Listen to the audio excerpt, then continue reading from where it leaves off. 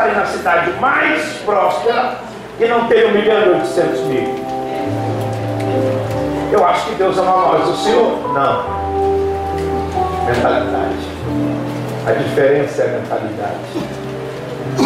Porque você pode estar no lugar da abundância e viver na escassez. E estar no lugar da escassez e viver na abundância. Por quê? Mentalidade. Ou Deus faz, ou o pastor morre.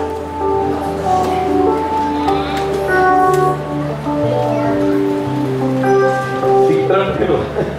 Você vai viver em 2003.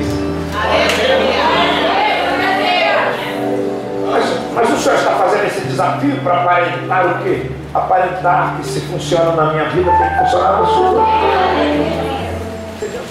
Essa igreja foi implantada nesta cidade para escrever uma história. Posso ouvir amém? Amém. Você tem o privilégio de fazer parte dessa história. Olha, a tua promessa não morreu.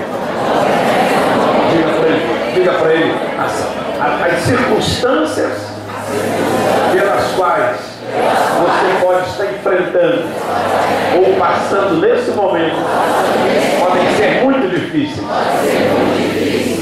Mas eu quero te lembrar, a tua promessa não morreu. Amém?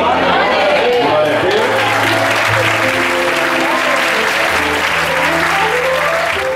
Toda pessoa que Deus usou, elas estavam debaixo de um princípio, a obediência do envio, a bênção do envio. Elas não saíram sozinhas. Qual é a vida? Qual é a mentira que paralisou a sua vida? Porque você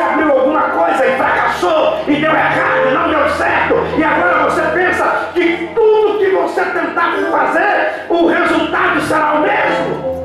Fracasso, fracasso, fracasso, fracasso, fracasso e fracasso. Qual é a mentira que tem paralisado a sua vida? Uma queda.